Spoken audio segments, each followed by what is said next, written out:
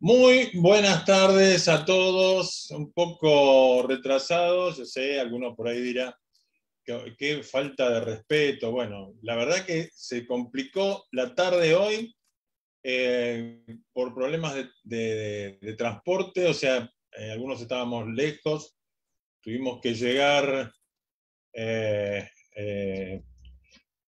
ahí llegamos con lo justo y después tuvimos algún problema también de, de conexión aquí con Zoom y las, las aplicaciones, y bueno. Este, pero estamos, estamos aquí, ya estamos aquí. Eh, le damos las buenas tardes también a, Diego. Este, ¿Cómo estás, hermano Diego? Gracias y paz de Cristo para ti. Eh, los ponemos a todos, que todos se vean en, en galería. Ahí estamos. Eh, sin mucho preámbulo hoy, vamos a comenzar. Le recordamos que la Iglesia Bautista Reformada en Ituzaingó, provincia de Buenos Aires, República Argentina, está recordando en este mes el, mes de la Reforma Protestante. Este año se cumplen 504 de la, eh, del hecho histórico cuando Martín Lutero clavó sus 95 tesis en la puerta de lo que se conoce como la Catedral de Wittenberg eh, en Alemania. Y, esto dio paso a lo que se llamó la Reforma Protestante. No un hecho eh, aislado, lo que ocurrió en Alemania, sino la consecuencia de muchos, muchos años de de trabajo de mucha gente, muchos cristianos que eh, pugnaron por volver a la, pureza del Evangelio, tal como eh, la enseñó el Señor Jesucristo, la enseñaron sus apóstoles eh, y la enseñaron y vivieron los cristianos del primer siglo. obviamente que todo esto trajo un fuerte sacudón en el mundo y gracias a, varios factores que sirvieron de, sostén al trabajo de, Martín Lutero, la existencia ya de la imprenta eh, mecanizada con, tipos intercambiables que facilitaba la impresión de libros, este, también la situación política que había en ese momento en Alemania, eh, todo influyó para que la reforma eh, diera ese impulso, obtuviera ese impulso necesario. Y hablaba los otros días con alguien y comentábamos esto, ¿no? Que es, es raro que algunas iglesias que se denominan evangélicas hoy en día rechacen cualquier unión o cualquier relación con, eh, la reforma de Lutero, cuando en realidad la reforma fue uno de los grandes hechos históricos, eh, obviamente los que creemos en la, soberanía de Dios, sabemos que es un hecho soberano, una acción soberana de Dios en la historia para volver a, la base del Evangelio que tanto se había torcido durante este, más de un milenio. De todo esto también vamos a hablar el próximo domingo, el domingo 31 de octubre, eh, vamos a hacer una, charla pública, el conversatorio, o sea, el domingo 31 no vamos a tener eh, un mensaje central como usted eh, sabe que hacemos habitualmente. a lo largo del mes de octubre, cada domingo predicó un hermano diferente de la iglesia, este, mensajes distintos, hablamos de las cinco solas de la reforma, hablamos de qué es la iglesia, hablamos de cómo funciona la iglesia, hablamos de los conocidos cinco puntos de la gracia. Eh, y hoy, hoy nos toca hablar, eh, no nos toca hablar, sino que va a exponer nuestro hermano Anthony sobre las confesiones de fe. Eh, un tema muy importante también en el funcionamiento y, y el crecimiento eh, y, la alimentación de la iglesia. Este, nosotros creemos que la base es la escritura y como decíamos cuando hablamos de los cinco solas, solo escritura, solo gracia, solo fe, solo Cristo y solo a Dios la gloria. Cualquier cosa que se desvíe de eso eh, no pertenece a la enseñanza de una iglesia neotestamentaria. Así que bueno, de todo eso vamos a estar hablando también el próximo domingo, a partir de las 19.30, Dios mediante. Eh, eh, va a ser más, más seguro que estemos todos, a menos que se corte la energía eléctrica, Dios nos libre. Pero vamos, va a haber un grupo aquí conmigo eh, el próximo domingo y vamos a poder este, hablar de todas estas cuestiones. Así que Recuerde, el próximo domingo 31 no se olvide que aquí vamos a estar. Le damos la bienvenida a Héctor, que nos está visitando hoy por primera vez desde Jujuy, provincia de Jujuy, al noroeste de la República Argentina.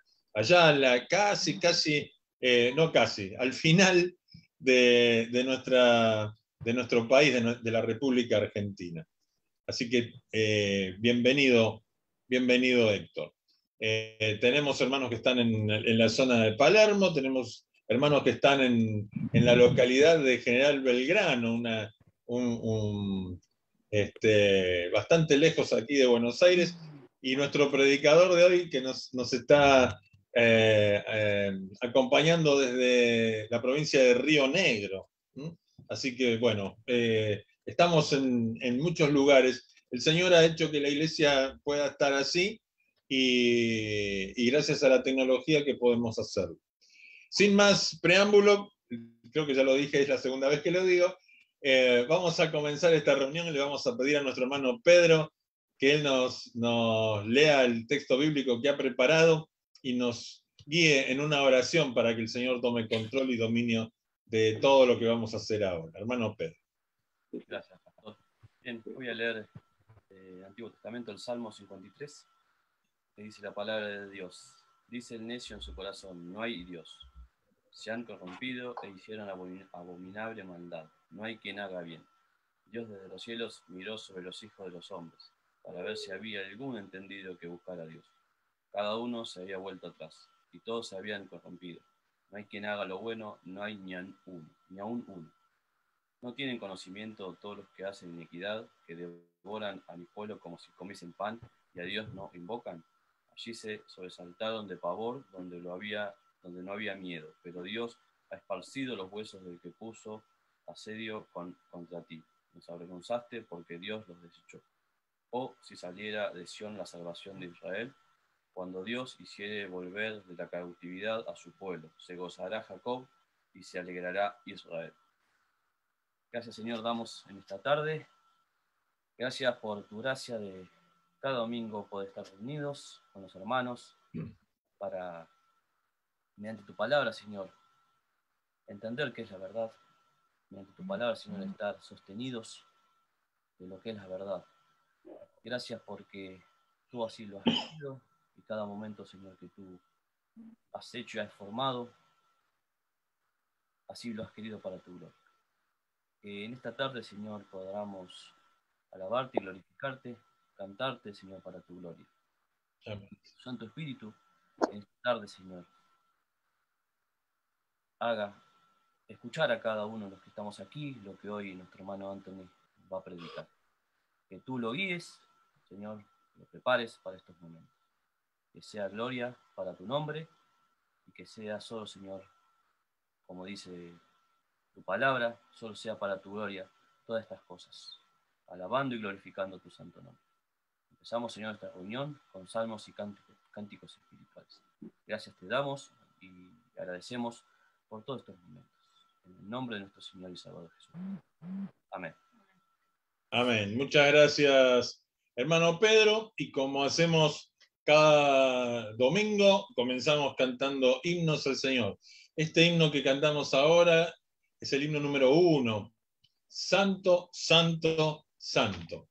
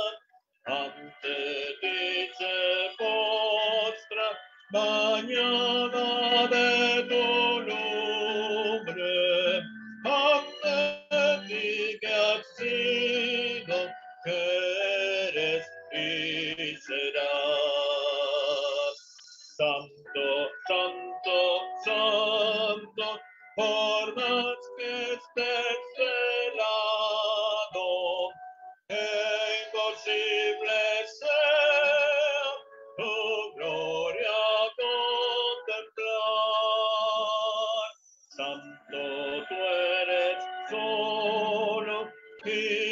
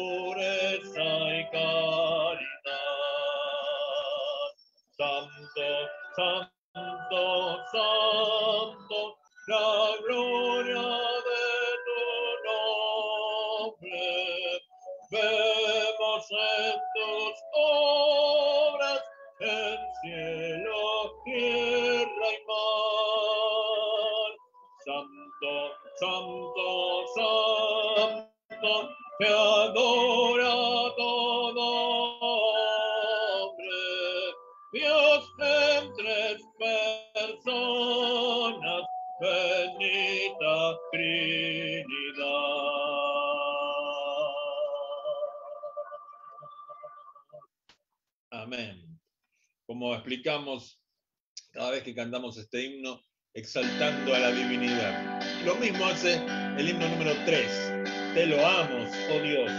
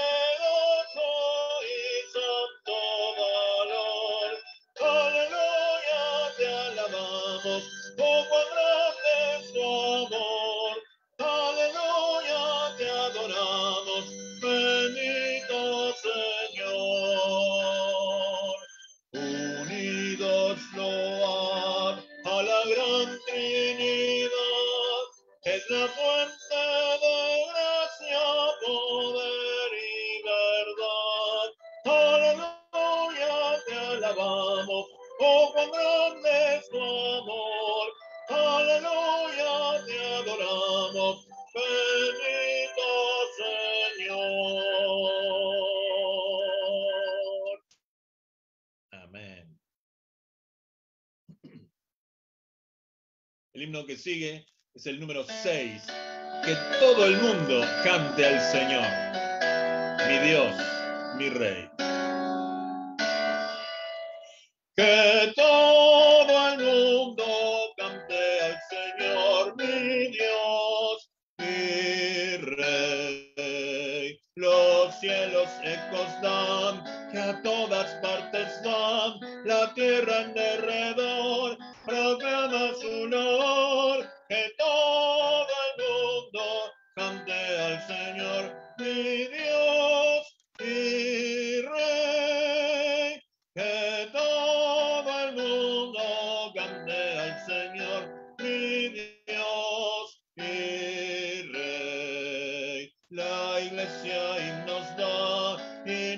Cesará. Con todo el corazón me alaben con tesón. Que todo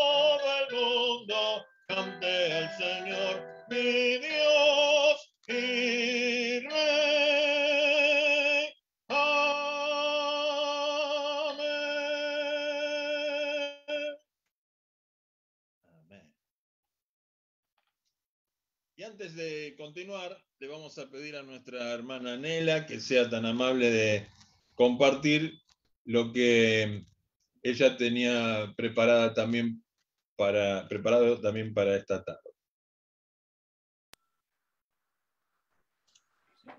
Buenas, pastor eh, y hermanos, gracias. Voy a leer Hebreos 10, del 26 en adelante. Dice, porque si pecaremos voluntariamente después de haber recibido el conocimiento de la verdad, ya no queda más sacrificio por los pecados, sino una horrenda expectación de juicio y hervor de fuego que ha devorado a los adversarios. El que viola la ley de Mo- Moisés por el testimonio de dos o tres testigos muere irremisiblemente. ¿Cuánto mayor castigo pensáis que merecerá el que pisotee al Hijo de Dios y tuviere por inmundo la sangre del pacto en la cual fue santificado e hiciere afrenta al Espíritu de gracia? Pues conocemos al que dijo, mía es la venganza, yo daré el pago, dice el Señor, y otra vez el Señor juzgará a su pueblo. Horrenda cosa es caer en manos del Dios vivo. Pero traed a la memoria los días pasados en los cuales después de haber sido iluminados sostuviste gran com- combate de padecimientos. Por una parte, ciertamente como vituperios, tribulaciones fuiste hecho espectáculo, y por otra llegaste a ser compañeros de los que estaban en una situación semejante, porque de los presos también os compadecéis, y el despojo de vuestros bienes sufriste con gozo, sabiendo que tenéis en vosotros una mejor y perdurable herencia en los cielos. No, no os perdáis pues vuestra confianza, que tiene gran galardón, porque os es necesario la paciencia para que habiendo hecho la voluntad de Dios, obtengas la promesa, porque aún un poquito el que ha de venir y vendrá, y no tardará, mas el justo vivirá por fe, y si retrocediere no agradará mi alma. Pero nosotros no somos de los que retroceden para perdición, sino de los que tienen fe para la preservación Amén. Muchas gracias, hermana Nela. Bienvenida, hermana Marcela. Sabíamos que iba a llegar. Eh, continuamos entonces con eh, el himno, ya le digo el número, ¿dónde estábamos? A ver. Ahí vamos. Himno número 14. Dios está presente.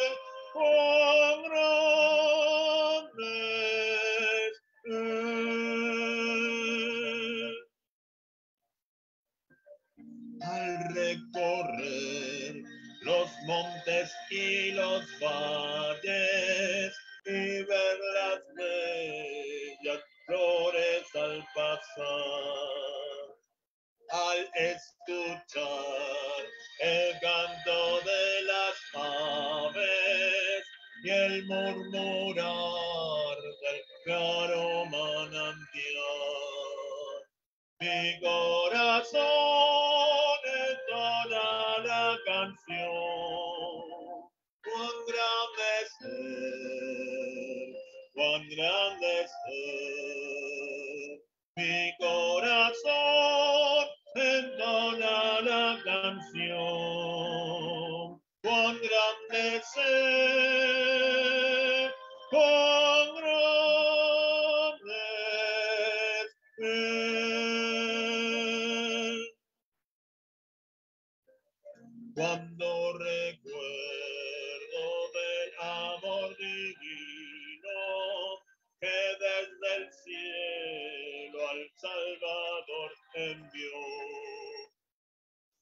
aquel Jesús que por salvarme vino y en una cruz sufrió por mí murió. Mi corazón entonará canción. Cuán grande es Él, cuán grande es. Mi corazón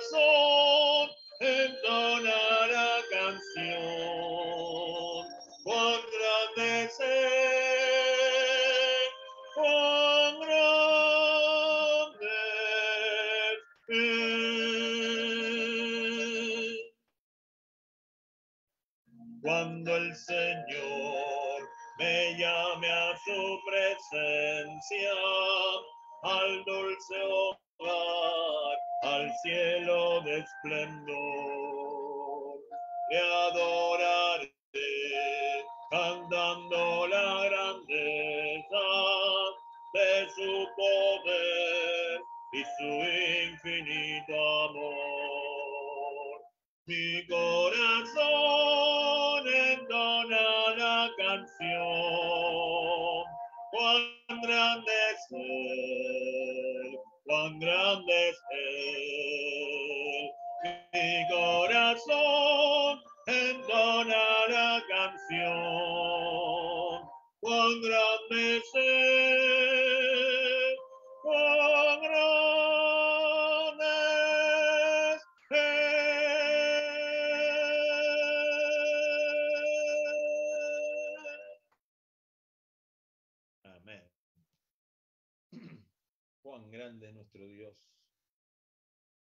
¿Cómo no alabarle? ¿Cómo no agradecerle? El himno número 26 lo estamos cantando todos los domingos de este mes. Himno lema de la Reforma Protestante, escrito por Martín Lutero.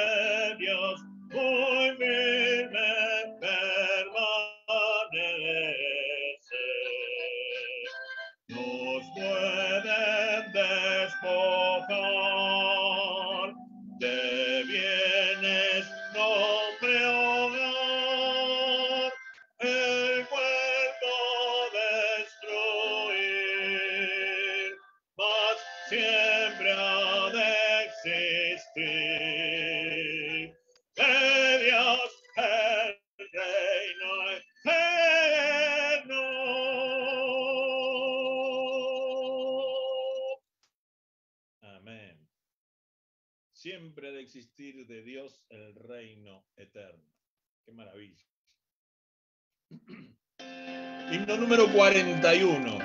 Me agrada cantar.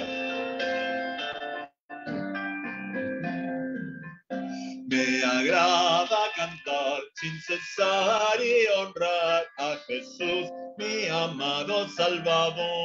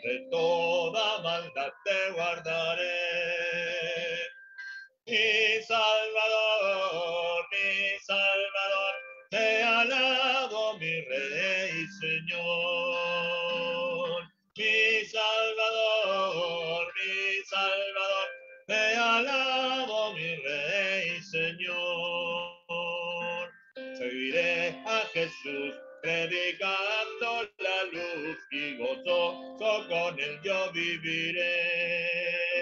Él me da salvación y gratuita protección, en la lucha constante seguiré. Mi Salvador, mi Salvador, te alabo, mi Rey Señor. Mi Salvador, te alabo, mi Rey, Señor.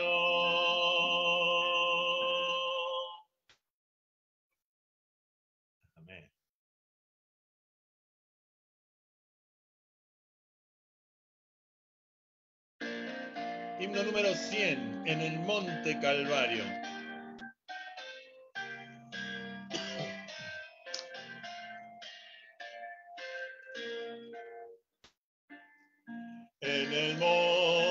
Calvario se vio una cruz, emblema de afrenta y dolor. Y yo quiero esa cruz, no murió mi Jesús por salvar.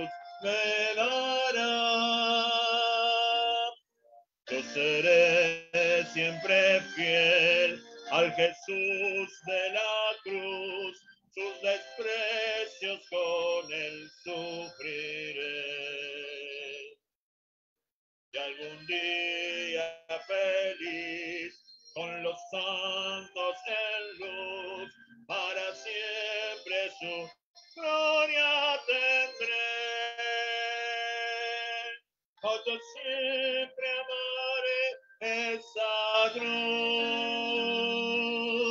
en sus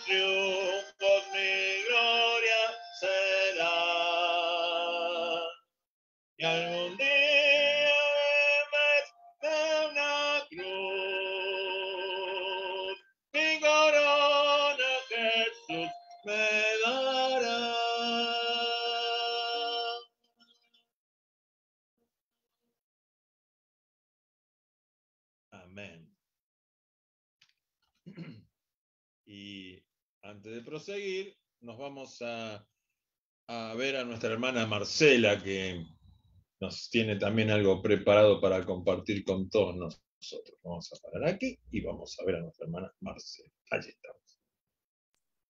Hola, buenas noches. Bueno, había preparado algo para hoy, pero cuando venía a casa vi, vi una iglesia católica y vi un montón de gente que estaba ahí arrodillada. Entonces me acordé de la iglesia de Luján, que la gente se cree que porque va de rodillas a la iglesia, Dios o la Virgen le va a conceder sus deseos. Este, entonces se me ocurrió, pensé leer otra cosa. Eh, esto está en el punto 16 de la confesión de fe, el título es de las buenas obras, y dice así, las obras son solamente aquellas que Dios ha ordenado en su santa palabra y no las que sin la autoridad de ésta han inventado los hombres por un fervor ciego o con el pretexto de que tienen buenas intenciones.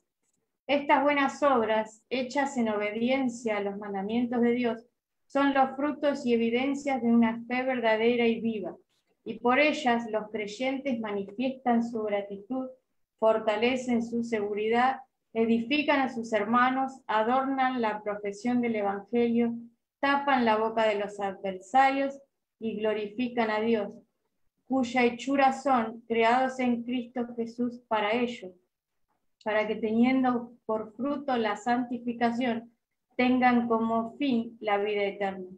La capacidad que tienen los creyentes para hacer buenas obras no es de ellos mismos en ninguna manera, sino completamente del Espíritu de Cristo. Y para que ellos puedan tener esta capacidad, además de las virtudes que ya han recibido, necesitan una influencia real del mismo Espíritu Santo para obrar en ellos tanto el querer como el hacer por su buena voluntad. Sin embargo, no deben volverse negligentes por ello, como si no estuviesen obligados a cumplir, al cumplir deber alguno, aparte de un impulso especial del Espíritu, sino que deben ser diligentes en avivar la gracia de Dios que está en ellos.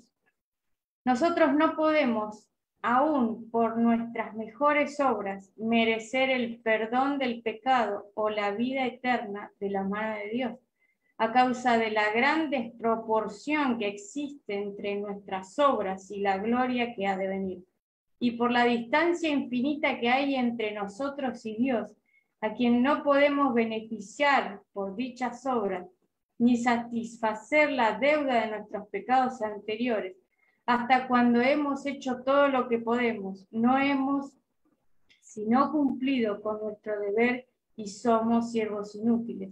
Y tanto en cuanto son buenas, proceden de su espíritu, y en cuanto son hechas por nosotros, son impuras y están mezcladas con tanta debilidad e imperfección que no pueden soportar la severidad del castigo de Dios. Las obras hechas por hombres no regenerados, aunque en sí mismas sean cosas que Dios ordena, de utilidad tanto para ellos como para otros, sin embargo, por no proceder de un corazón purificado por la fe y no ser hechas de una manera correcta, de acuerdo con la palabra, ni para un fin correcto, son por tanto pecaminosas y no pueden agradar a Dios ni hacer que alguien sea digno de recibir gracia por parte de Dios. A pesar de esto, el descuido de las buenas obras es pecaminoso y desagradable a Dios. Hasta ahí, pastor.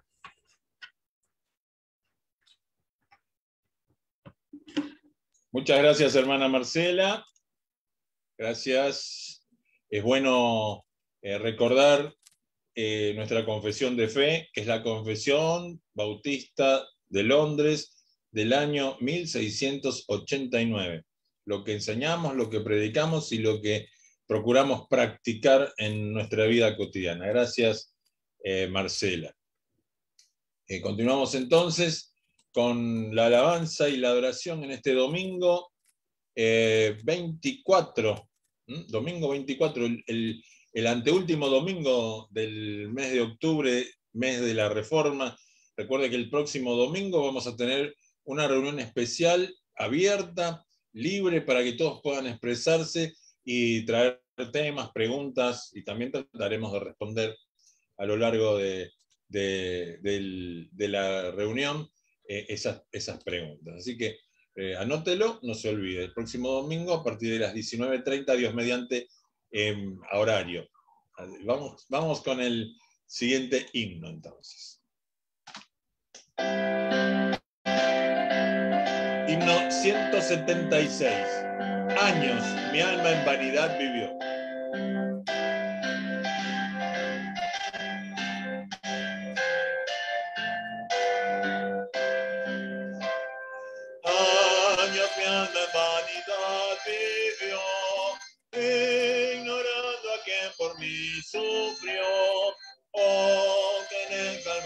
Sucumbió el Salvador. Alma de divina gracia dio, Dios allí perdón y paz me dio,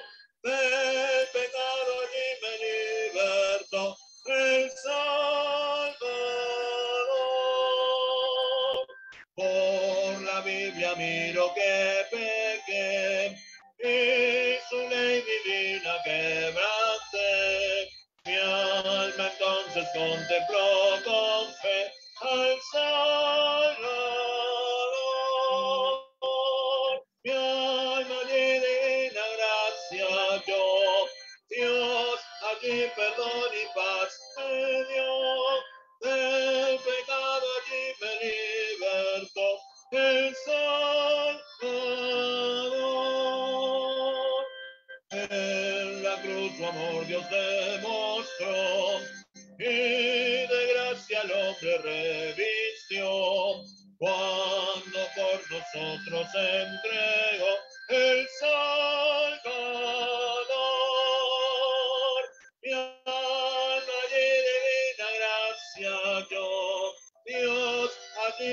Perdón y paz me dio, del pecado allí me libertó el Salvador. Toda mi alma a Cristo ya entregué, hoy le quiero y sirvo como a rey, por los siglos siempre cantaré al Salvador.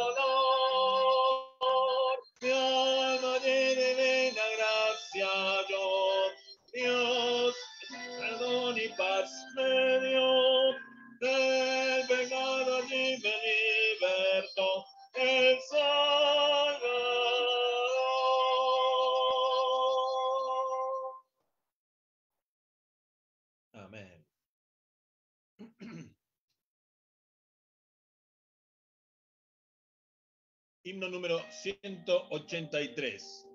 Sublime gracia. Esta es una traducción propia nuestra de la iglesia.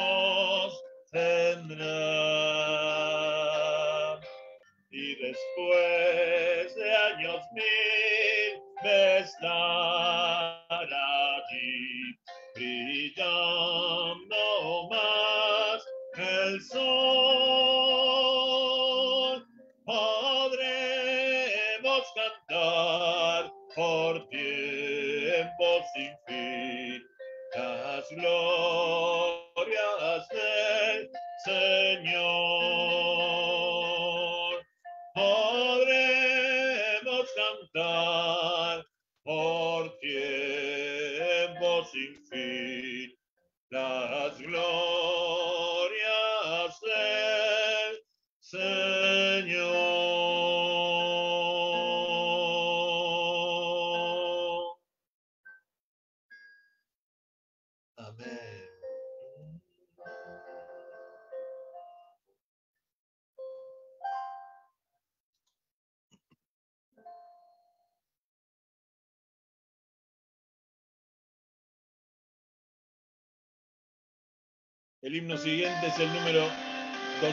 1959. Lo trajimos hace dos domingos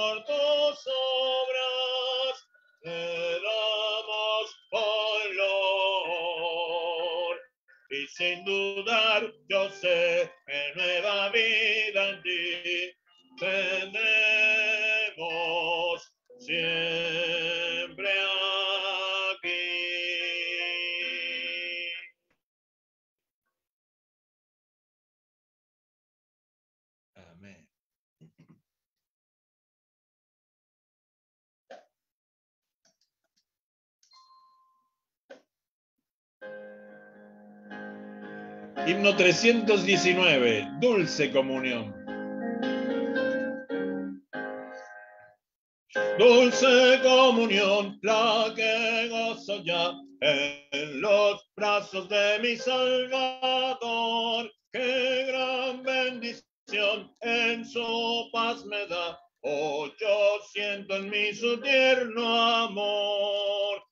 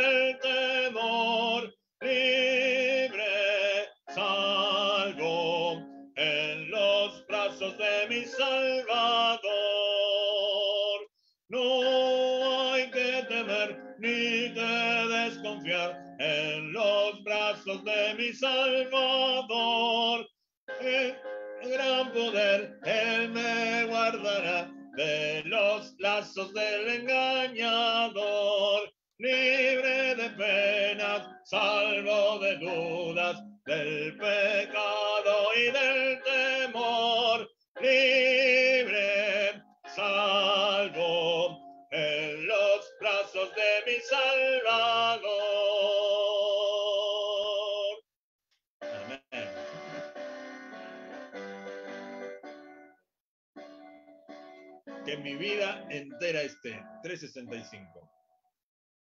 Que mi vida entera esté consagrada a ti, Señor. Que a mis manos pueda guiar tu espíritu de amor. Tuya sea, Dios, mi voluntad. Oh Dios, de nadie más. Tuyo es, Señor, mi nuevo corazón, pues tu trono en él está. Que mis pies tan solo en pos de lo santo puedan ir. Que a ti, Señor, mi voz se complazca en bendecir. Tuya sea, oh Dios, mi voluntad. Tuya sea, oh Dios, de nadie más. Tuyo es, Señor, mi nuevo corazón, pues tu trono en él está. Que mis labios al hablar solo lo hagan de tu amor. Que mis bienes quiera yo dedicar a ti, Señor. Tuya sea, Dios, mi voluntad. Tuya sea, Dios, de nadie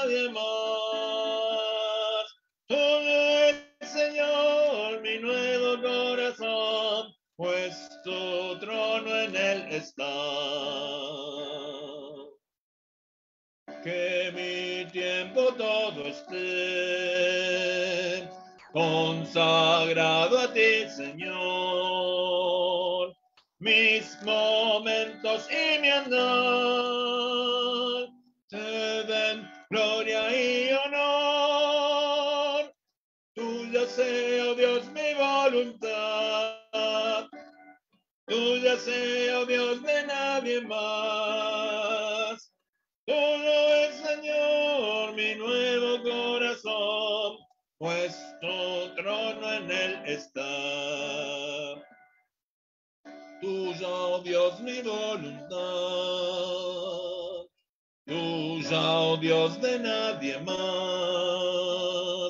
Tuyo es mi corazón,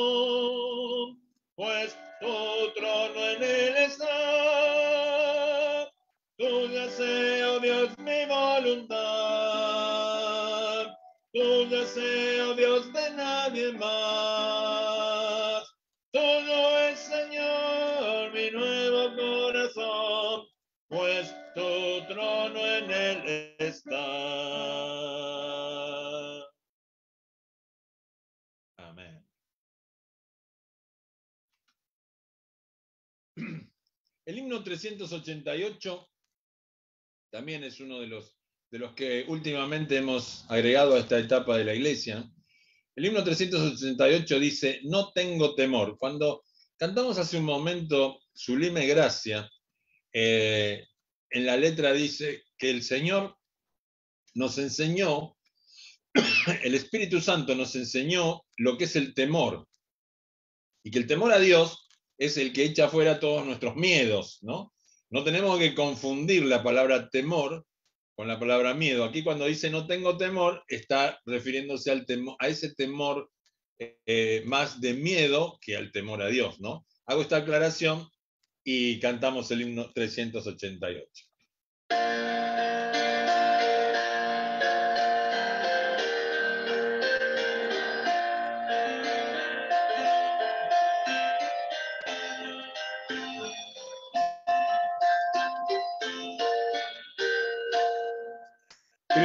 Cristo está conmigo, es consolación. Su presencia aleja todo mi temor. Tengo la promesa de mi Salvador. No te dejaré nunca siempre contigo estoy. No tengo temor, no tengo temor. Jesús me ha prometido siempre contigo estoy. No tengo temor, no tengo temor. Jesús me ha prometido, siempre contigo estoy. Fuertes enemigos, siempre cerca está. Cristo está más cerca, guárdame del mal. En valor me soy tu defensor. No te dejaré nunca, siempre contigo estoy. No tengo temor, no tengo temor. Jesús me ha prometido, siempre contigo estoy. Temor, no tengo temor. Jesús me ha prometido, siempre contigo estoy. El que guarda mi alma nunca se dormirá. Si mi pie resbala, me sostendrá. En mi vida diaria es mi protector. Cuán fiel es su palabra, siempre contigo estoy. No tengo temor, no tengo temor. Jesús me ha prometido, siempre contigo estoy. No tengo temor, no tengo temor. Jesús me ha prometido, siempre contigo estoy. Murió por mí en Calvario, mi culpa Cristo pagó. Por mí abrió esa fuente de sangre que me lavó. Ahora sentado en gloria, me espera mi Salvador. Jesús me ha prometido, siempre contigo estoy. No tengo temor, no tengo temor. Jesús me ha prometido, siempre contigo estoy. No tengo temor,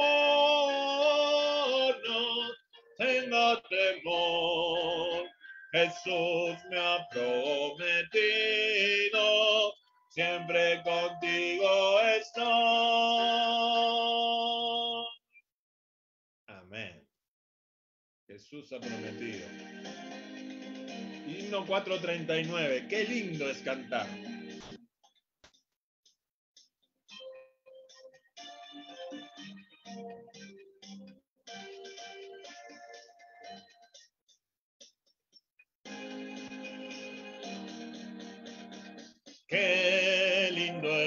Cantar, qué grato es hablar del gran amor de Dios que a su Hijo envió.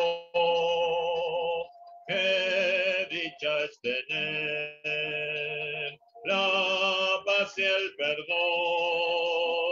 y así poder hablar de Cristo el Salvador con todo amor él entró y mi corazón transformó.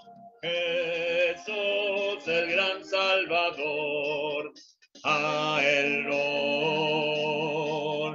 con todo amor él entró y mi corazón transformó. Jesús,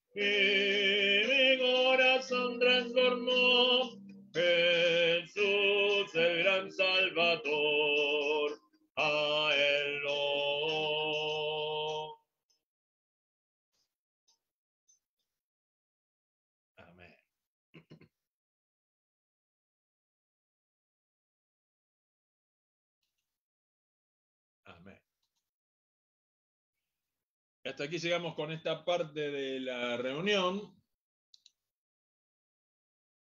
Y ahora le vamos a pedir a nuestro hermano Javier que sea tan amable de traernos el texto bíblico que él ha preparado y también que nos dirija en oración eh, por nuestro predicador y por el tema que hoy vamos a, a compartir.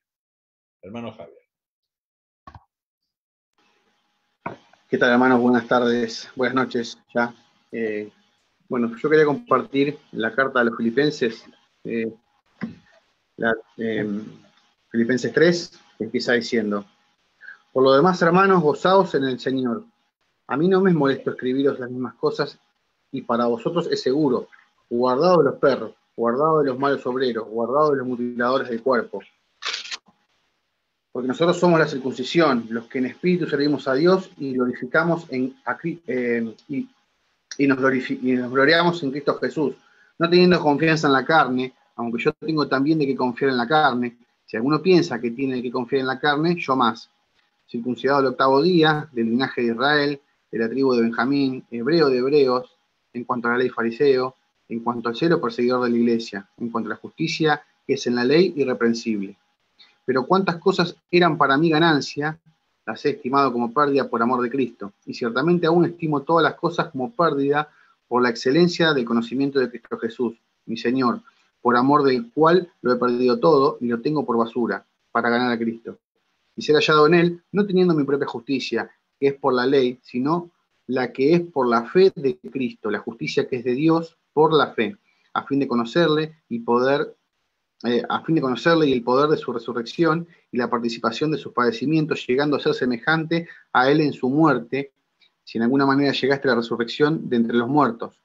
No que lo haya alcanzado ya, ni que ya sea perfecto, sino que prosigo por ver si logro asir aquello para lo cual fui también asido por Cristo Jesús. Hermanos, yo mismo no pretendo haberlo ya alcanzado, pero una cosa hago, olvidándome ciertamente, eh, ciertamente lo que queda atrás y extendiéndome a lo que está delante. Prosigo a la meta, al premio del supremo llamamiento de Dios en Cristo Jesús. Así que todos los que somos perfectos, eso mismo sintamos, y si otra cosa sentís, eso también os lo revelará Dios. Pero aquello, eh, pero en aquello a que hemos llegado, sigamos una misma regla, sintamos una misma cosa.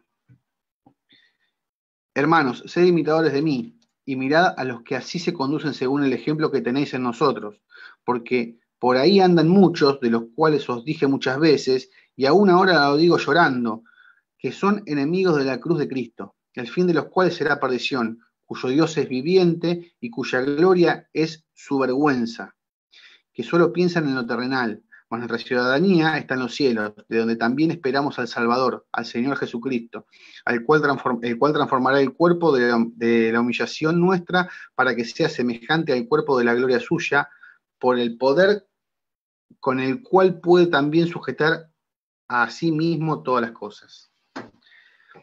Padre, te damos gracias en esta noche que podemos venir aquí a alabarte, a glorificarte, Señor, por tu palabra, Señor, por tu gracia, por, todo lo que tú demandas en nosotros, en las obras que tú pusiste de antemano para que nosotros anduviésemos, Señor. Gracias, Señor, porque esas obras se encarnan en nuestra vida, Señor, y, con ellas damos frutos, que somos hijos tuyos.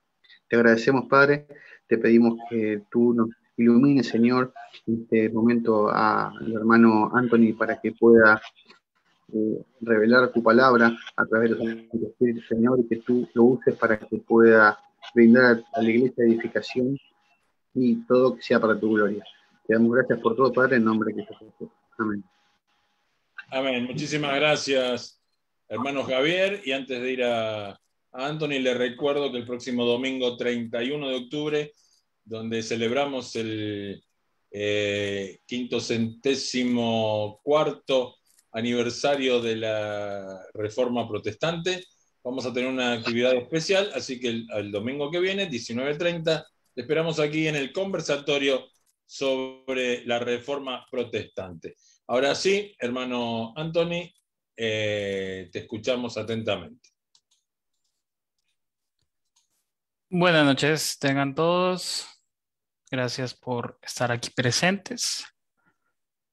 Entonces, como ya el pastor lo puso en la publicación sobre las predicas de, estos domingos. Hoy vamos a hablar sobre las reformas, de dónde vienen y por qué existen.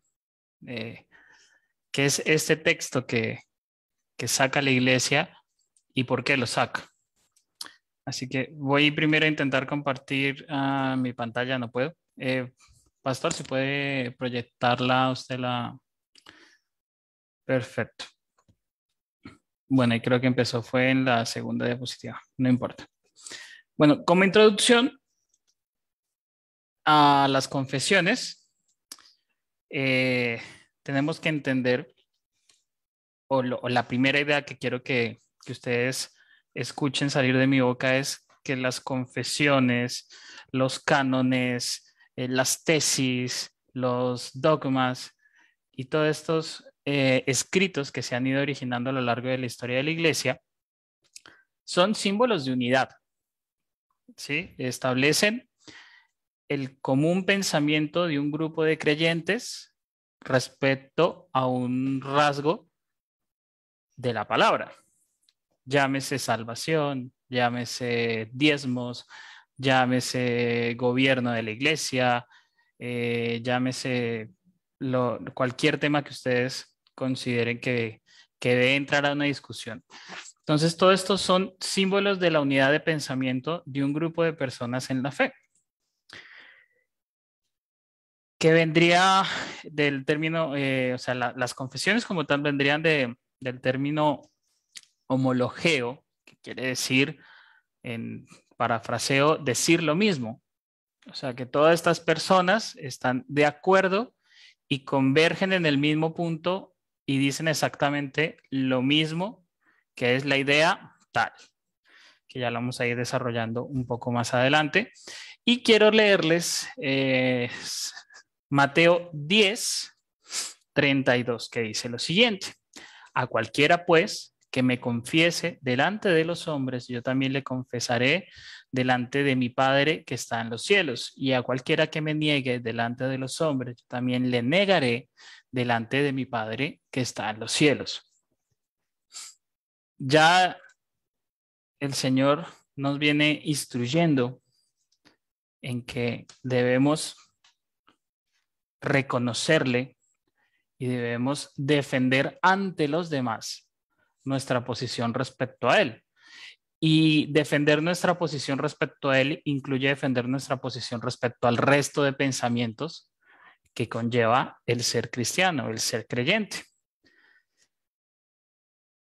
La, doctrina no es algo em, que nosotros nos hayamos inventado, ni la iglesia moderna, ni en la reforma, ni tampoco en la iglesia primitiva, no. La doctrina es algo ya existente en la Biblia y de donde nosotros vamos a agarrar estas ideas y estas confesiones y estos dogmas y estas tesis neta y exclusivamente de la Biblia. No hay pensamiento de hombre, no hay conclusiones de hombre, sino que son todas cosas que salen directamente del Antiguo y del Nuevo Testamento. ¿Cierto? Es algo que debemos dar a nuestros hijos o a los creyentes más jóvenes en tradición. O sea, es, por ejemplo, la función del pastor es ceder esa doctrina, ese conocimiento como una tradición a las personas que van viendo. Bien, digas en el caso nuestro de la iglesia bautista de Ituzangó, a Pedro, a Javi, a Franco y a mí, él nos instruye para que enseñemos la doctrina correcta y como una tradición siempre eh, contemos la misma historia, siempre vayamos sobre el mismo, eh, sobre el mismo lineamiento, ¿cierto? Lo que solemos hacer o lo que se ha solido eh, lo que se suele ir haciendo es adaptarlo al lenguaje entendible para el momento de la sociedad en el que nos encontremos. Ahí, Pastor, si quiere puede ir avanzando la diapositiva hasta la tercera, por favor. Entonces, ahí, perdón, se quedó un poco como salido de, pantalla. Confesar que ya les, eh, les leí, homologeo, es decir, que significa decir lo mismo.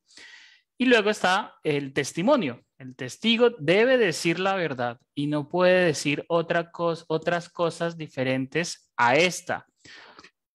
Traigo a colación las famosas escenas de los juicios norteamericanos donde en frente de la Biblia deben jurar decir la verdad y solamente la verdad.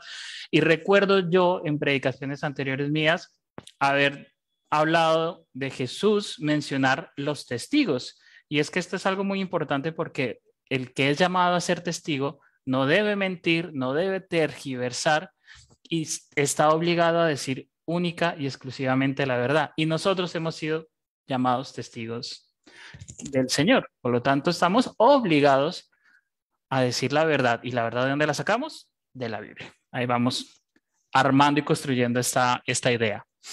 Doctrina conjunto de ideas, enseñanzas o principios básicos defendidos por un movimiento, materia o ciencia que se enseña.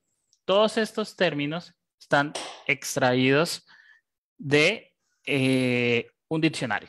No es algo que nos inventamos acá nosotros, son términos reales de nuestro lenguaje que están en otros lenguajes, en inglés, en alemán, en holandés, en chino, en lo que ustedes quieran. Son definiciones Em, iba a decir mundanas, pero no, son definiciones. Ay, se me, se me, fue la palabra. Son definiciones para todo tipo de. Em, que están en el diccionario, perdón, para no enredarme mucho. Generales. General, sí, eh, iba a decir eh, música secular, ya. Eh, son definiciones seculares, por lo tanto no son netamente definiciones cristianas, pero es tanto el peso de estas palabras que en el, que en el ámbito secular tienen el, la misma función que en el ámbito cristiano o en el ámbito del creyente. Aquí Vamos, pastor, si me permite, la número cuatro. Símbolos de unidad. las confesiones, declaración de las creencias compartidas de una comunidad religiosa en forma de una fórmula fija que resume los principios doctrinales. Como ya les ah, dije hace unos momentos, es el pensamiento de un grupo de personas que apuntan hacia la misma dirección y que se plasma en un documento en donde se dice, yo creo, ta, yo, ta, tal cosa. Luego también tenemos cánones eh, a lo largo de la historia de la iglesia moderna, conjunto de normas, preceptos o principios con que se rige la conducta humana, un movimiento artístico o una determinada actividad. Conjunto de normas, preceptos o principios.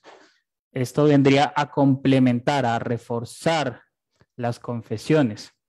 Luego tenemos catecismos, que suena un poco a, término católico, pero en realidad no lo es. ¿Por qué? Libro que contiene la exposición concisa de alguna doctrina, perdón, me, me quedó mal escrito ahí, alguna doctrina, ciencia o arte en forma de preguntas y respuestas.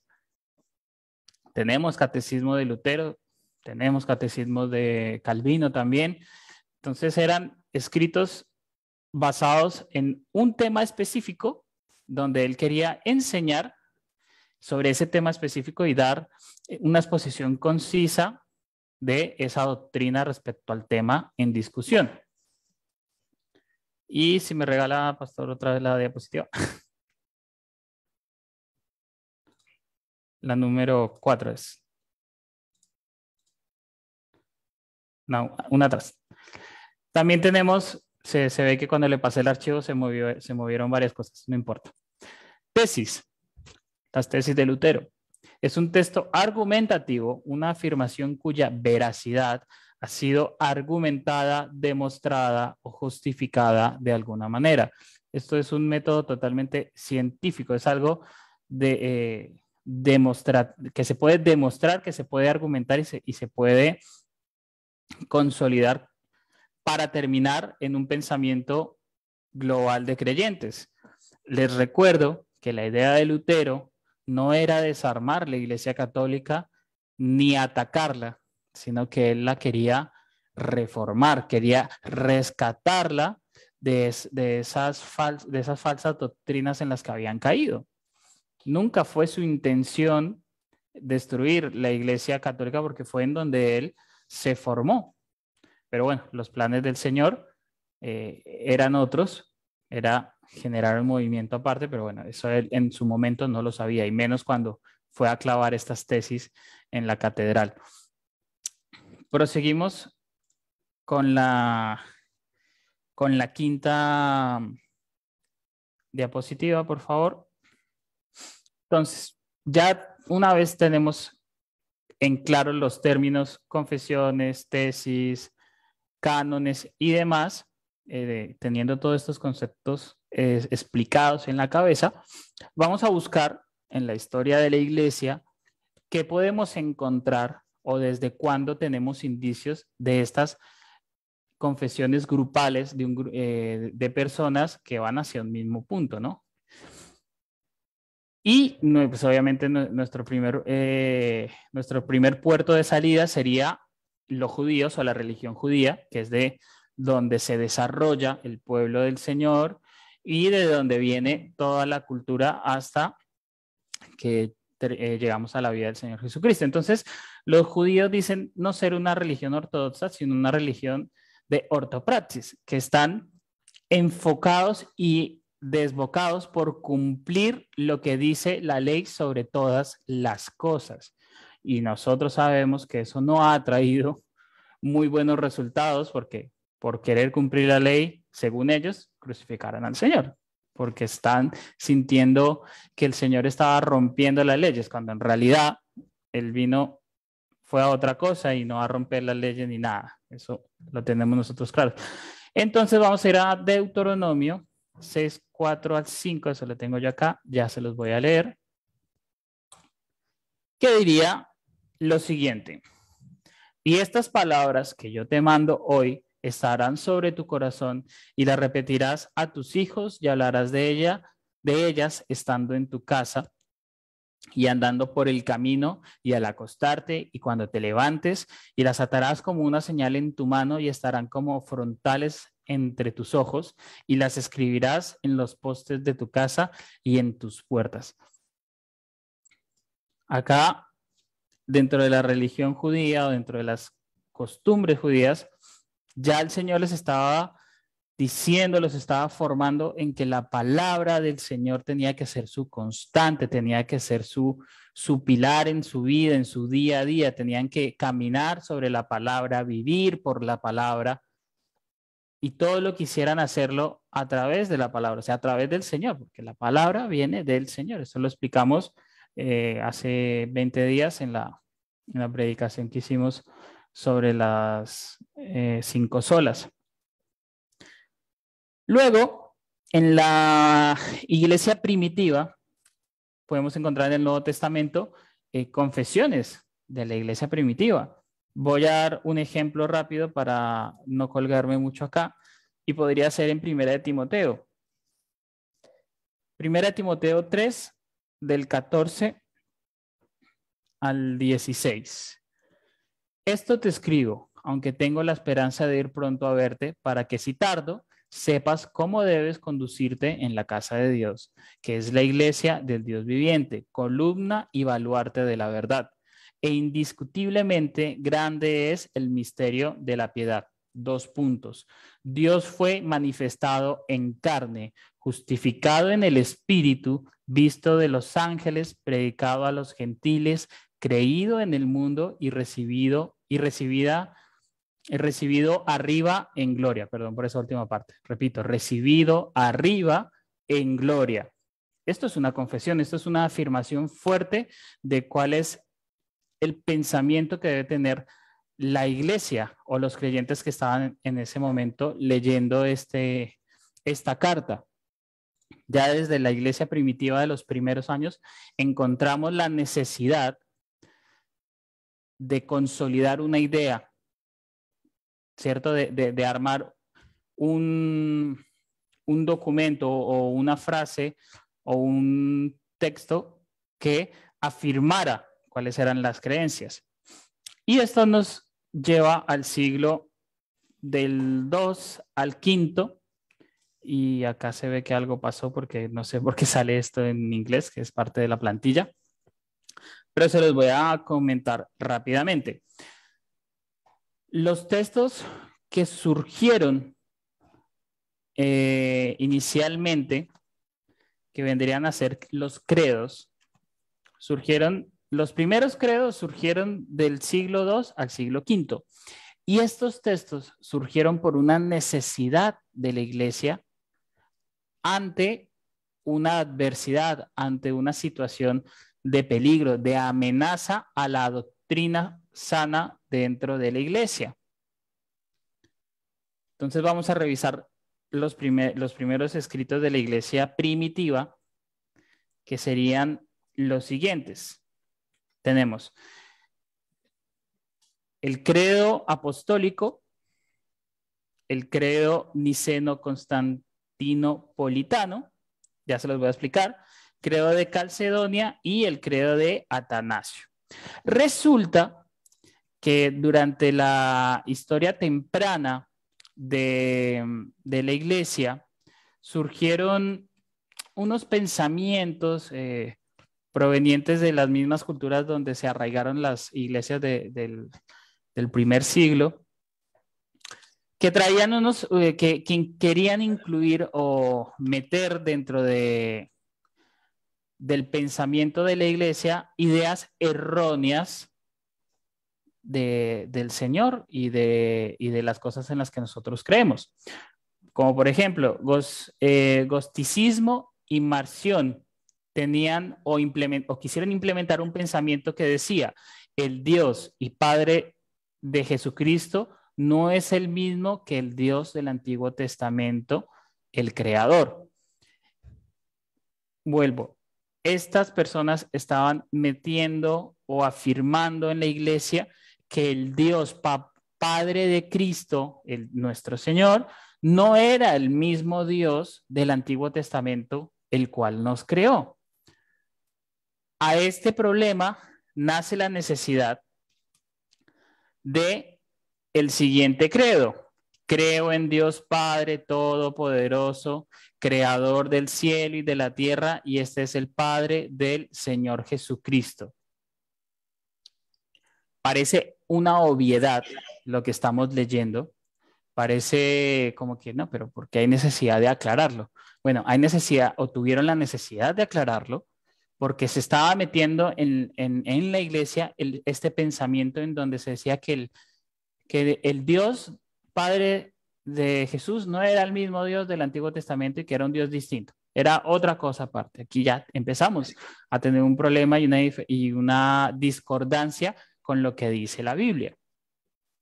Luego tenemos el credo de Niceno eh, Constantinopolitano, perdón, que eh, surge para poder eh, contrariar o, tumbar un pensamiento proveniente de, del arranismo. Y este caballero decía lo siguiente,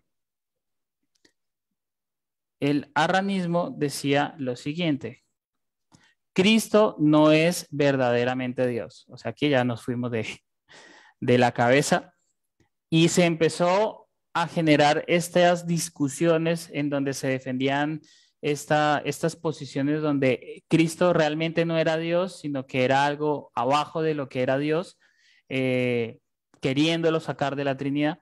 Y entonces sale o aparece este credo, el niceno constantinopolitano, que para el año 325 decía, bueno, eh, voy a leer el del 381, que fue después una modificación más larga, pero un pedacito que es, y en un solo Señor, eh, dice lo siguiente, creemos en un solo Dios, Padre Todopoderoso, Creador del cielo y de la tierra, de todo lo visible y lo invisible, y en un solo Señor, Jesucristo, el unigénito de Dios, nacido del Padre antes de todos los siglos, luz de luz, Dios verdadero de Dios verdadero. Volvemos al, al inicio. Nace o se quiere implementar dentro de la iglesia un pensamiento erróneo, una doctrina desviada, una herejía, ¿cierto? Y es necesario, además de la palabra, generar un texto, un credo en este caso, que eh, revierta o que contradiga y que ponga en firme la idea correcta que, que encontramos en la Biblia. Una cosa que se me pasó a decir, todos estos textos tienen que salir de la escritura, deben provenir de la escritura, no pueden chocar en, contra la escritura, porque entonces ya estaríamos eh, siendo los, los, gosticismo y el marción de la, de la época moderna. Todo esto, estos credos, estas tesis, estas confesiones de fe, tienen que estar apoyadas, revisadas, contrastadas con la Biblia. Bueno, termino el paréntesis y continúo. Otro más que tenemos como ejemplo sería el credo de Calcedonia, que buscaba contrarrestar eh, un pensamiento traído por Néstor, sería un pensamiento nestorio, que decía que la naturaleza del Señor era, eh, voy a leerlo para no decir cualquier cosa, permítame un segundo. Eh, había sido condenada la, herejía nestoria que defendía que las dos naturalezas, divina y humana de Cristo, eran completamente independientes entre sí, es decir, que Cristo solo era hombre que fue poseído y habitado por Dios. En el concilio, San Cirilo de Alejandría se había distinguido rebatiendo las tesis de Nestorio. Surge esta idea de un personaje diciendo que el, el Cristo hombre Mm, había sido poseído por Dios. Eh, para nosotros ahora esta idea puede sonar loca, descabellada, como a quién se le puede ocurrir, pero hay gente que se le puede ocurrir y es entonces necesario generar este credo donde hablamos y tenemos que afirmar o decir que creemos que la naturaleza humana y divina del Cristo están conjugadas en el mismo ser. Y no es que lo poseyó, eh, lo, habitó el Señor, ni nada de estas cosas. Cristo era tanto hombre como Dios. Y una cosa que, aclaró el pastor el, martes que tuvimos una clase, es que muchas veces se habla de la muerte de, de Cristo, pero no se aclara que el que murió fue el Cristo hombre no estamos separando, pero sí estamos aclarando que el que entregó su vida fue el Cristo hombre, no el Cristo Dios, porque eh, Cristo Dios no murió, no podía morir. Por eso fue que pudo resucitar su Cristo, eh, su parte humana. Como aclaración, ya que justamente el martes lo habíamos estado charlando en, en la clase.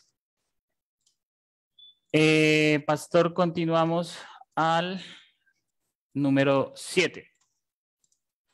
Bueno, el último credo se generó más o menos para el siglo V y aquí tenemos un, espacio de unos mil años donde no pasó mucho, por no decir que no pasó nada.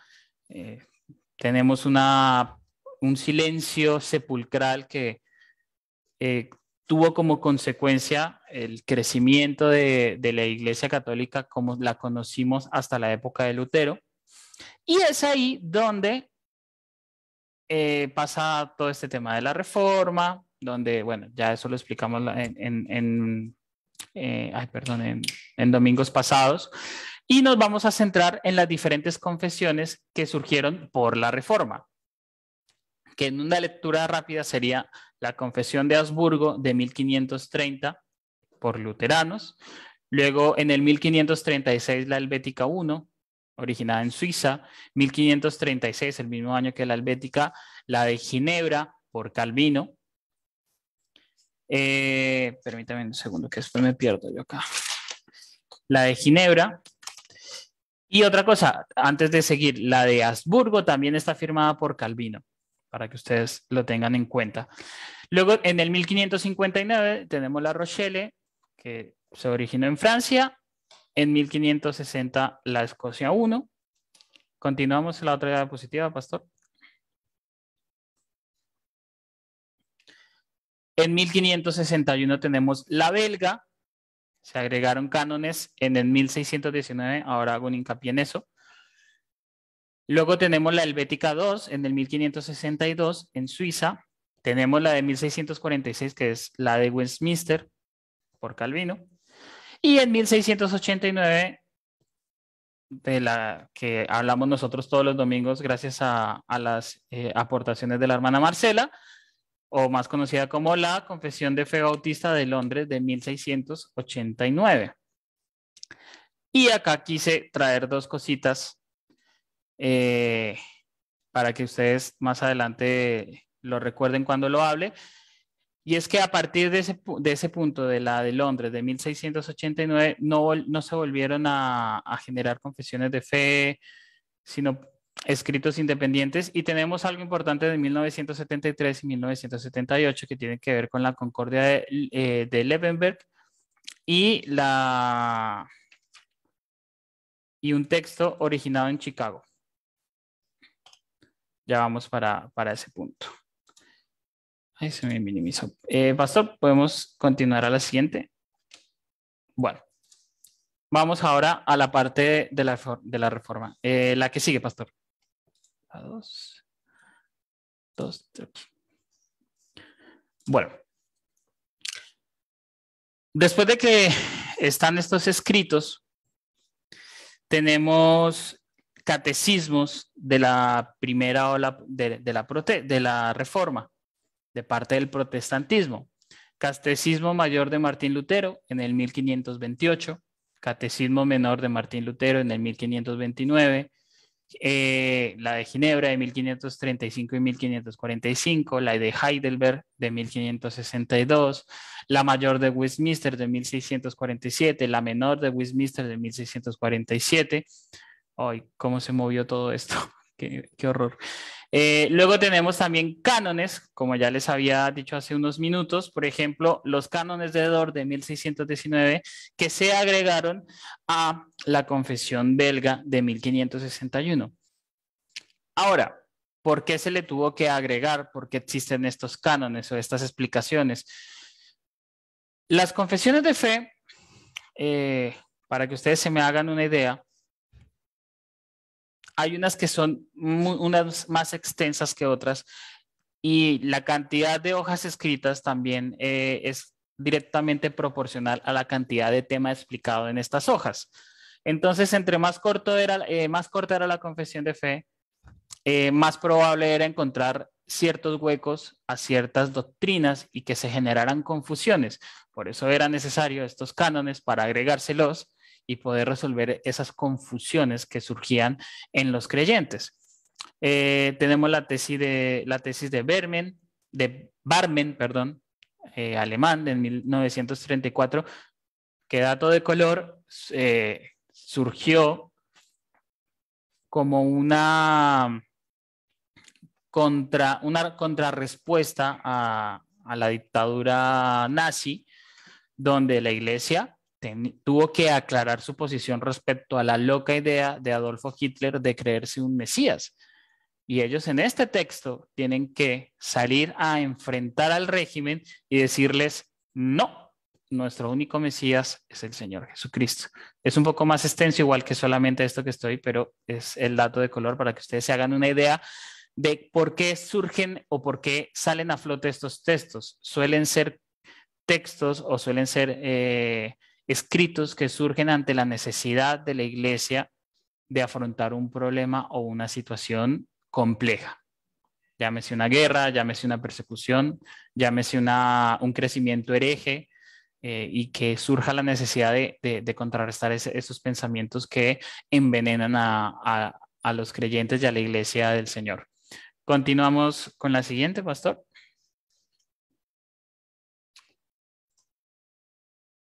Bueno, y quiero mostrarles eh, que en 1973 se realiza la Concordia de Leunberg, Leunberg, Leuenberg, perdón, de Leuenberg.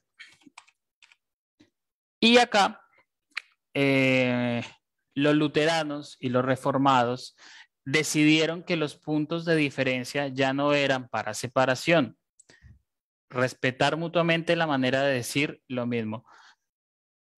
Por ejemplo, siempre que se habla de los bautistas y de los presbiterianos, se habla de que la única diferencia es el tema del bautizo de menores.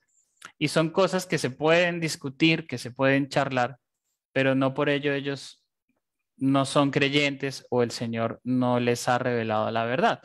Son cosas que hay que discutir y hay que solucionar buscando respuestas en la Biblia, pero eso no debe generar una separación ni tampoco debe generar eh, un desprecio por los demás hermanos. Luego, tenemos en el 1978 la Declaración de Chicago, donde eh, se vieron en la obligación de reunirse y afirmar lo siguiente, Dios, el cual hizo al hombre en su imagen, usó el lenguaje como medio para comunicar su revelación. Y se niega que el lenguaje humano está limitado por nuestra humanidad. Perdón, el lenguaje humano está limitado por nuestra humanidad para que sea, para que no, perdón, lo redacté mal, lo copié de otra parte y lo redacté mal. Eh, niegan que el lenguaje humano limite el poder de la revelación divina y se niega además que la corrupción de la cultura humana o del lenguaje por el pecado haya coartado o envenenado o ensuciado la obra de inspiración de Dios. Esto debido a que había surgido un pensamiento donde se decía que la Biblia estaba eh, sesgada por el pensamiento humano, estaba sesgada por la capacidad cultural de los hombres que la escribieron, estaba sesgada por la capacidad de escritura que tenían los hombres que la escribieron. Idea errónea porque sabemos que la escritura fue inspirada por Dios y que la palabra viene exhalada, sale del Señor y que fue plasmada por estos hombres a través de los miles de años de historia de la Biblia. Bueno, continuamos. Entonces, algo importante de, toda esta clase de historia que estamos teniendo acá es cómo comprender estos símbolos. O sea, ¿qué, qué, vamos a hacer con, con esto? ¿De qué me sirve o de qué nos sirve tener todos estos materiales en nuestra, a nuestra disposición? Tenemos un conflicto de casi 500 años entre luteranos y, calvinistas o bautistas y presbiterianos, eh, que si lo traemos ahora a, contexto moderno, discusiones entre bautistas y... Ay, se me olvidó el nombre de los otros muchachos. Bueno, de otras denominaciones de la iglesia por discusiones como si hay don de lenguas, este tipo de, de, discusiones. No voy a decir que secundarias porque es importante que la doctrina sea, eh, sea correcta, pero... Pentecostales. Pentecostales, gracias Javier. Carismáticos. bueno, carismáticos. Eh, ahí ya podríamos discutirlo. a lo que voy. Estas confesiones eh, las que, se las quiero mostrar o representar de la siguiente manera. Hagan de cuenta que cada cuadrito que ustedes están viendo en pantalla es una confesión, es un canon, es una tesis, es un catecismo, es un credo, y que justo en el centro está la palabra del Señor. Hay textos que abarcan una, un área extensa de, la palabra, hay textos que van a un área específica, a una doctrina específica, a un tema específico. Hay tesis que defienden doctrinas como la salvación, si se pierde, si no se pierde, si es por obras, si no es por obras. Pero todo esto tiene y gira alrededor de la palabra. Y acá es donde yo quiero que el pastor vaya a la siguiente diapositiva, que no es esta. La siguiente, pastor, perdón. Creo que las puse al revés. ¿Dónde converge todo este conocimiento? ¿En dónde es el punto en el que tiene que chocar toda esta información? Y es la siguiente, y es que todo esto tiene que converger en la verdad de Dios y en la verdad del hombre. ¿Y dónde encontramos eso? En la cruz. Voy a intentar explicarme de una mejor manera. ¿Cuál es la verdad de Dios? La verdad de Dios es que es un ser justo, omnipresente, omnipotente, que es amoroso, que es bondadoso, que es soberano, que es santo. ¿Y dónde está la verdad del hombre? Que somos unas criaturas caídas, que estamos separados del Señor a causa del pecado, que necesitamos salvación, que no hay nada que podamos hacer por nuestros propios méritos para eh, poder volver a la vida y poder pensar en ser hijos del Señor. No hay nada que nosotros podamos hacer para resucitar o para entender la palabra. Esas son las dos grandes verdades, que es la verdad del Señor, de Dios, perdón, y la verdad del hombre.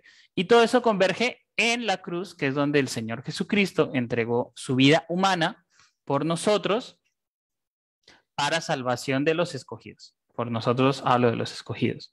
Entonces, todos estos textos tienen que girar alrededor de esto y tienen que chocar contra, contra, contra esta verdad inamovible.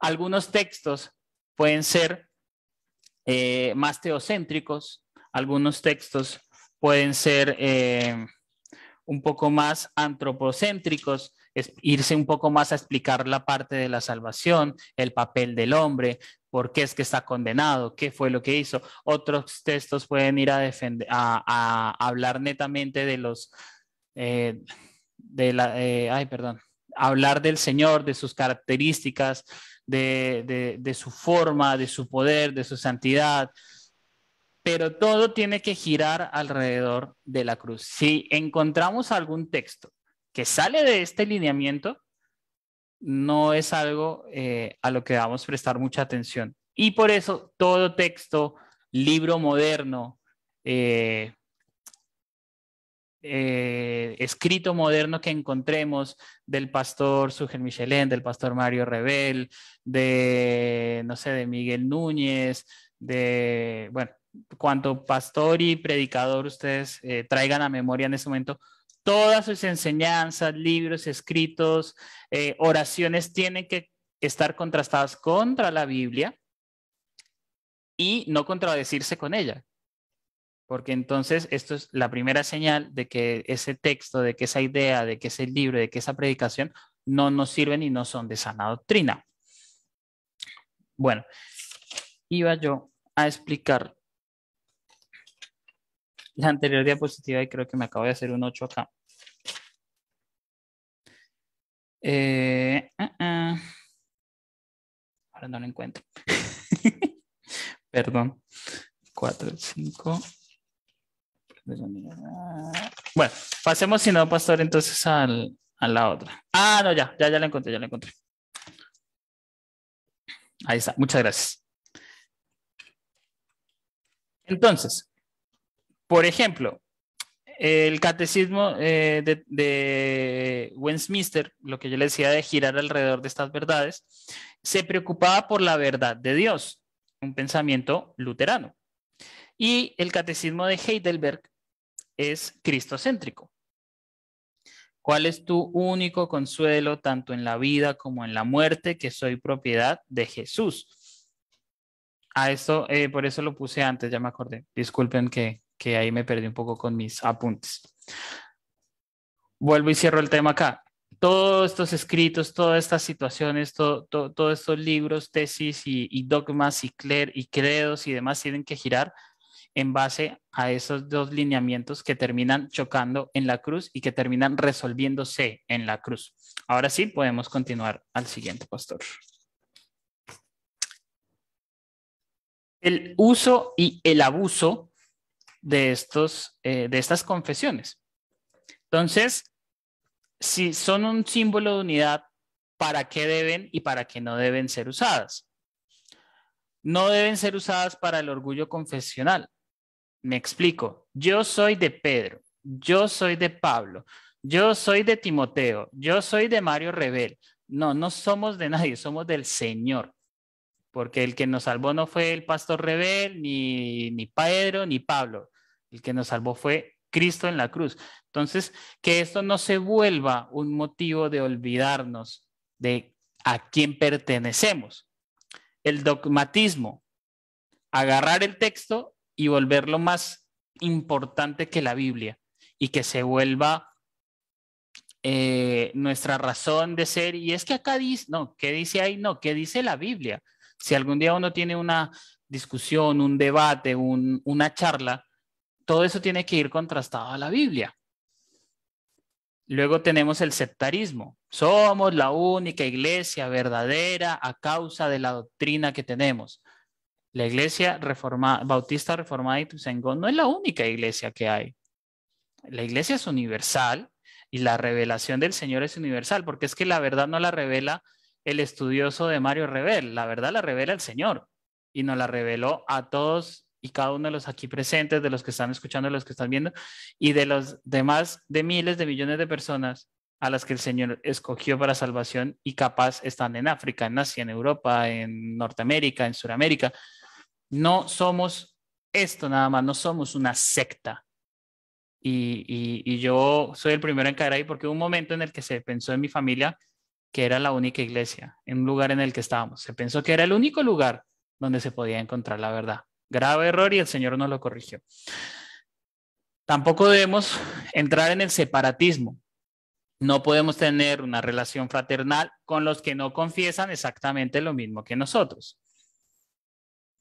pongamos de ejemplo los bautistas con los presbiterianos. Antes de yo entrar, por ejemplo, a esta iglesia, de ser parte de, esta congregación, veníamos de una iglesia eh, presbiteriana. No por ello el pastor nos cerró las puertas de la iglesia. No por ello el pastor dejó de enseñarnos o no por eso el pastor nos agarró, eh, no sé, a decir, no, pero es que ustedes son, no, el pastor nunca nos increpó por el lugar ni por la confesión de fe en la que nosotros habíamos estado siendo formados el momento antes de pertenecer a la Iglesia Bautista Reformada de Ituzaingó. El pastor tampoco se deja de hablar con otros pastores donde si el Señor lo, dispone, tal vez entiendan la verdad y dejen sus malas costumbres y sus malas doctrinas. No se trata de ir a juntarse con ellos y creerlo, no. Hay, siempre hay una línea en la que el Señor nos va a mantener orientados, donde debemos evitar el separatismo, porque eso nos va a llevar al sectarismo. Es inevitable.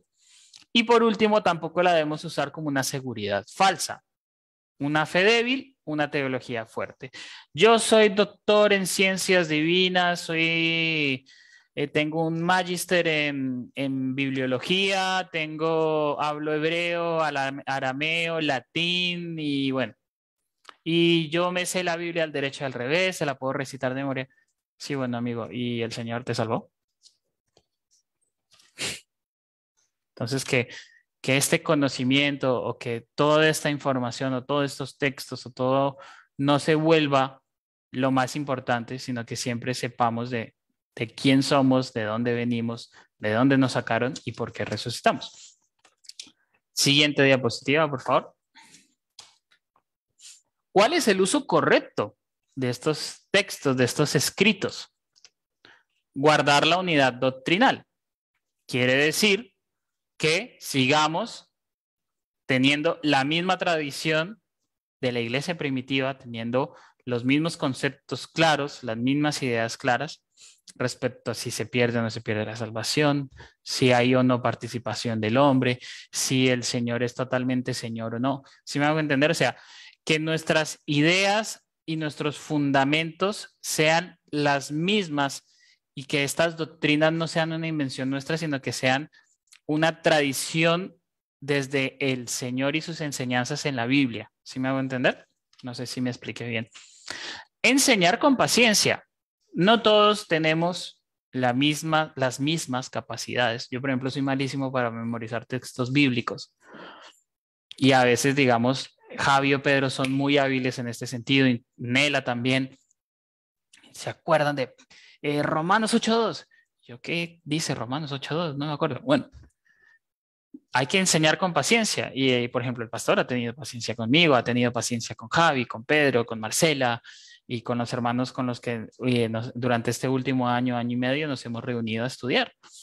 Y hemos estudiado la confesión de fe, ahora estamos estudiando Apocalipsis, a veces hacemos paréntesis para estudiar eh, preguntas que van surgiendo durante estos mismos estudios y el pastor, por la gracia del Señor, ha tenido la paciencia de enseñarnos. Enseñar con humildad. Volvemos a, ah, es que yo, yo tengo la verdad. Uf, es que si usted supiera, hermano, lo equivocado que está. No, al contrario.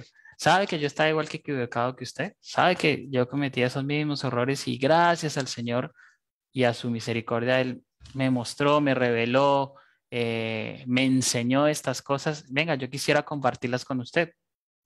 No, no, nunca en mirar por arriba de, sino eh, vamos a servir y a enseñar con humildad.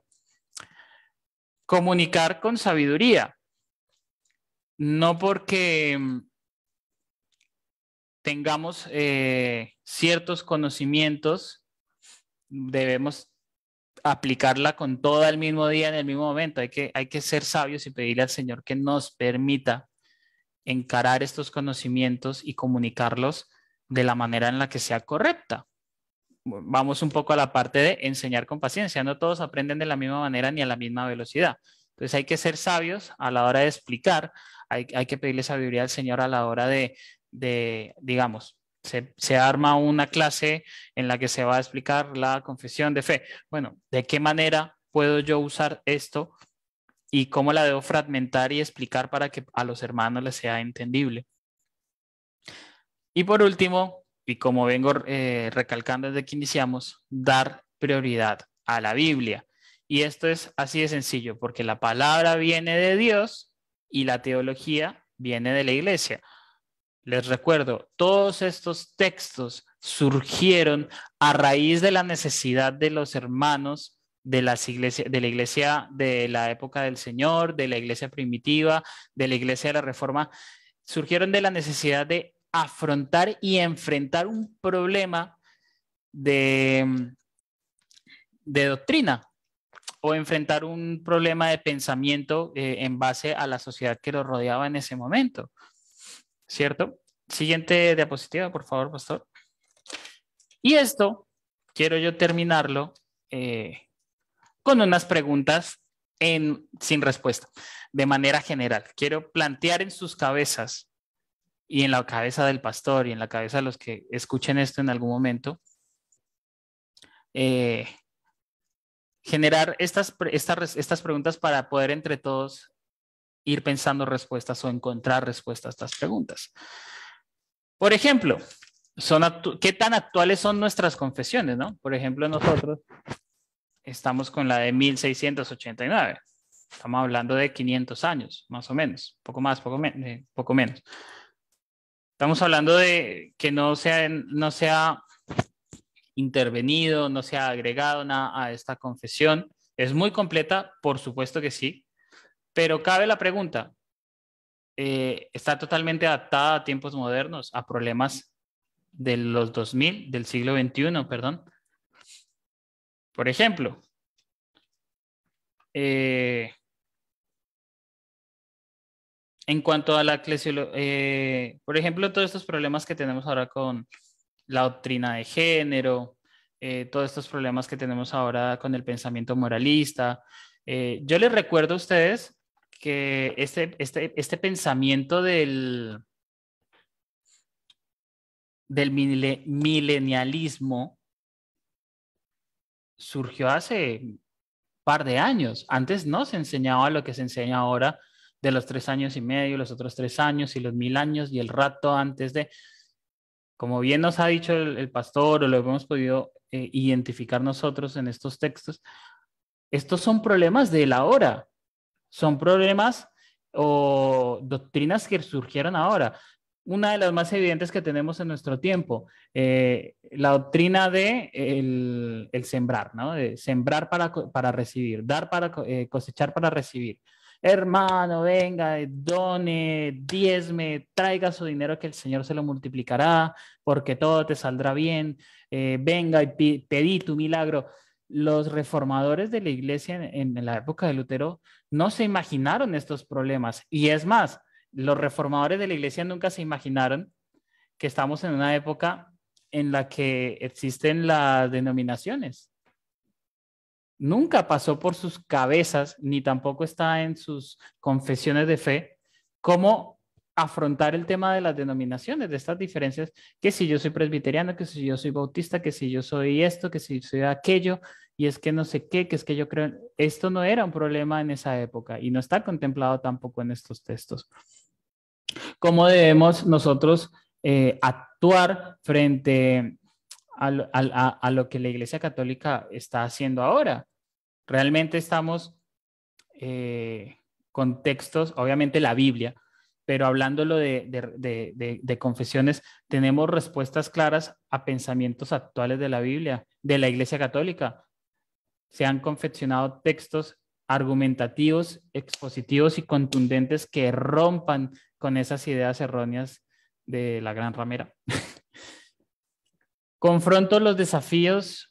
Eh, debemos redactar una nueva confesión. Esto es una pregunta que, no busco responder yo porque no tengo esa, esa, esa autoridad ni tampoco el conocimiento necesario para, para tirarme a una tarea titánica como lo es esa pero se debe redactar, se, debe entre los hermanos de la Iglesia Universal sacar un documento confesional en donde se aclaren de una vez por todas los problemas que tenemos en la Iglesia latinoamericana.